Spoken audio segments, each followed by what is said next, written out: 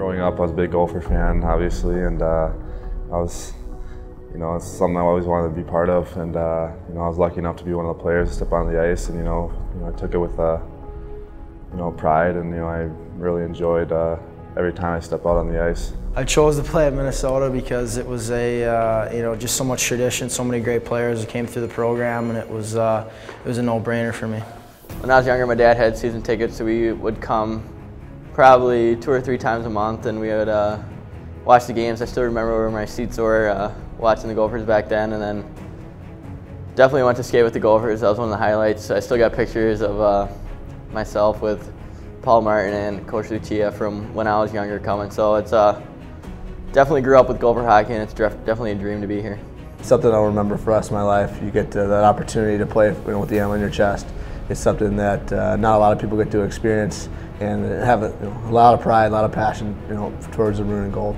The first time I pulled on the Minnesota jersey, I still remember it. Um, it was it wasn't for a game, but you know, it was for practice, and it was in the summer, and um, I just I pulled it on, and it was one of the first times just being in the locker room, kind of kind of like that, and I pulled it on and just thought to myself, wow, I'm really here. And um, you know, I had to get over that feeling kind of quickly because you have, after you know, you realize you're here, you have to make a statement and try to get yourself uh, into things.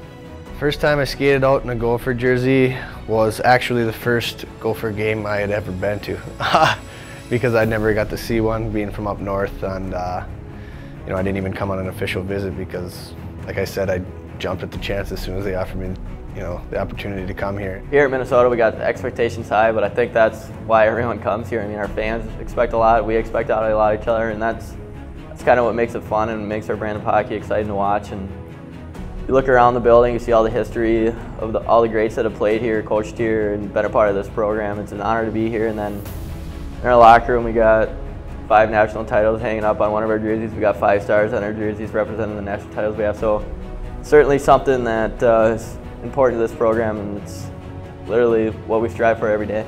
Once we get into the locker room, we're all just a bunch of guys that you know love the game of hockey, and uh, we're all you know very respectful of each other, and we love to you know go hard and, practice and battle against each other. And when it comes to games, you know we like to battle with each other, and um, you know just try to win as much as we can, and uh, you know have a lot of fun doing it.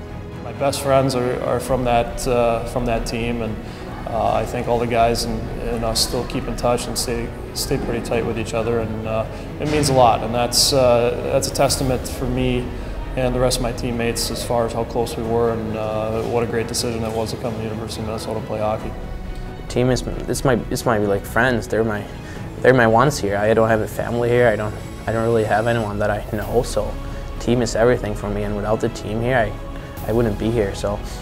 I'm, the team's just the most important for me, and that's that's all what it is.